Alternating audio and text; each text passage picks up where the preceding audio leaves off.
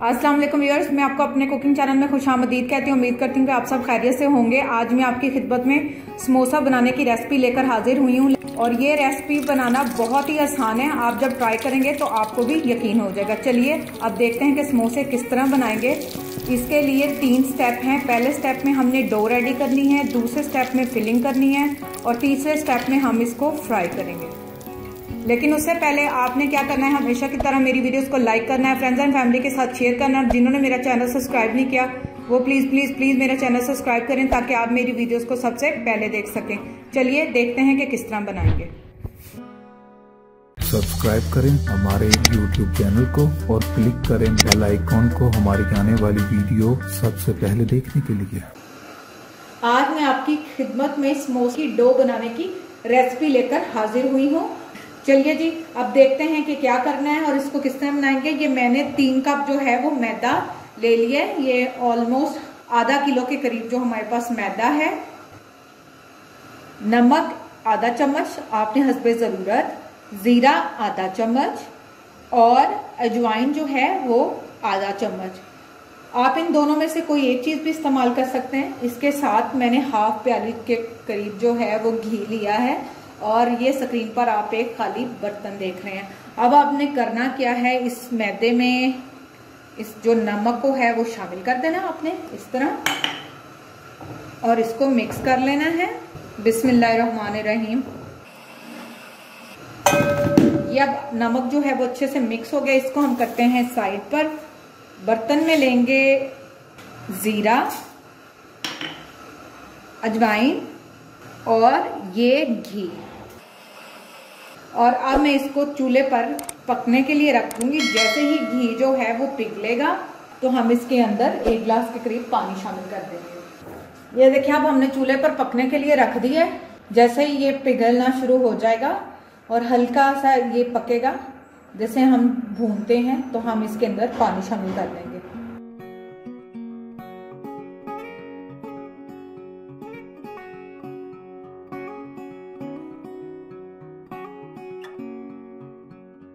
ये देखें जी, अब ये पक गया, अब हम इसके अंदर पानी शामिल करने लगे ये गिलास हमने जो है वो पानी शामिल कर दिया मैंने इसको पानी शामिल कर दिया। जैसे ये हल्का सा नीम गर्म होगा, हम चूल्हा बंद कर देंगे और थोड़ा सा इसको ठंडा करके साथ ही हम इससे अपना आटा तैयार कर लेंगे। अब ये गर्म हो चुका है। मैं चूल्हा बंद करने लगी हूँ और एक मिनट के बाद हम अपना आटा इस पानी से तैयार करेंगे। ये देखें जी, अभी हमारा पानी जो है वो ठंडा हो चुका है। नीम गर्म सा, अब मैंने इसके साथ समोसों की जो डो है वो रेडी करनी है या कचोरियों की। आटे में मैं नमक पहले ही डालकर इसको मिक्स कर चुकी हूँ, जैसा कि मैंने आपको वीडियो में दिखाया था।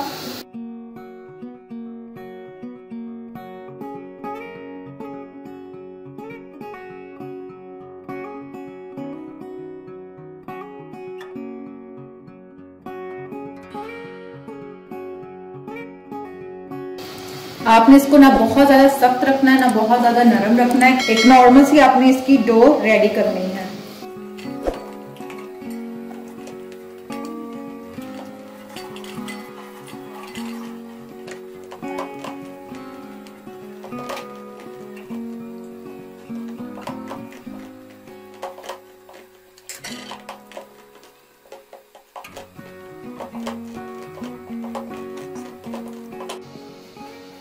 ये देखें वैसे हमारा आटा गूंद कर तैयार हो चुका है। अब आप ये साइड पर देख सकते हैं कि मैंने एक साफ़ न्यू जो है, वो शॉपिंग बैग लिया है। इसके अंदर हम इस पूरी डो को जो है, वो डालेंगे। इसके अंदर, शॉपर के अंदर इस डो को डालना बहुत ही ज़रूरी है। एक तो इससे आटा सॉफ्ट रहेगा, इसके ऊपर जो क्रैक्स बन जाते हैं और ब्राउन ब्राउन आटे के ऊपर वो सिक्कर सा आ जाता है, वो भी नहीं आएगा और क्रैक भी नहीं बनेंगे। इस तरह से मैंने ये नोट लगाकर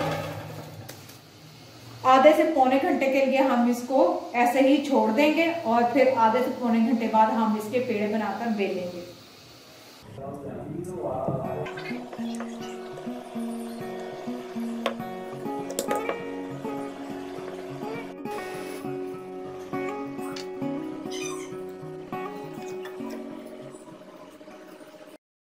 अब हम चलते हैं सेकंड स्टेप की तरफ़। ये आपको स्क्रीन पर नज़र आ रहा होगा। ये हमने आलू की फिलिंग बनानी है, उसके लिए मैंने आलू बॉईल करके इसको अच्छे से मैश कर लिया है। इसके साथ हम बरीक फाइन चॉप हरी मिर्चें इस्तेमाल करेंगे और मैंने फाइन चॉप प्याज इस्तेमाल किया। ये एक प्याली आपको स्क्रीन पर नज़र आ रही है। जितनी ज़रूरत हो आप उस हिसाब से कम या ज़्यादा कर सकते हैं। अनारदाना मैंने इसको पीस लिया। पीसने के बाद एक चम्मच अनारदाना। पीसा हुआ सूखा धनिया एक चम्मच। नमक हसबे ज़रूरत, मैंने आधा चम्मच लिया।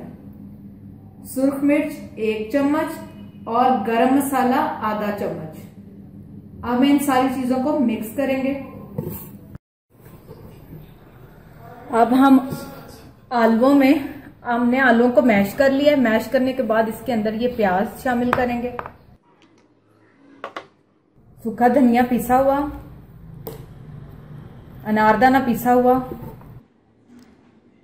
तो नमक, सुर्ख मिर्च और गरम मसाला, सबस कटी हुई हरी मिर्च, और अब हम इसको अच्छे से मिक्स करेंगे।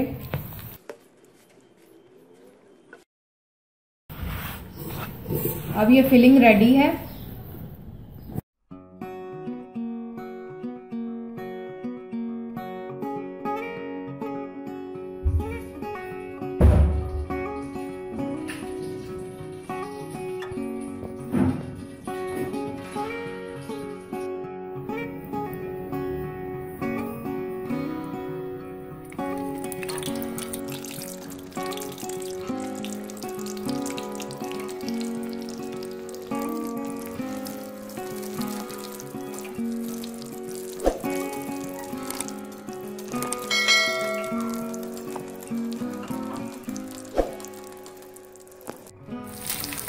ये देखें व्यूअर्स हमारे जो समोसे हैं, वो गोल्डन ब्राउन हो चुके हैं। अब मैं इसको डिश आउट करूँगी।